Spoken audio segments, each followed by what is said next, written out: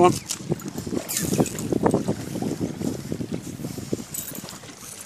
Come on.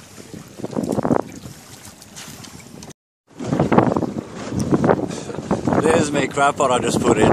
Now, I think I um, could have done with a little bit more rope. Luckily, it's high tide.